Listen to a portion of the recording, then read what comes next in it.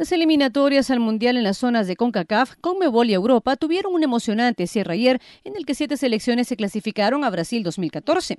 En CONCACAF, Estados Unidos, Costa Rica y Honduras avanzaron de forma directa, mientras que México dramáticamente entró al repechaje contra Nueva Zelanda para hacerse con una plaza. En la última jornada, Panamá perdió 2-3 contra los estadounidenses y dejó la mesa servida a los mexicanos que perdieron 1-2 contra Costa Rica. Honduras igualó 2-2 con Jamaica y se aseguró el pase.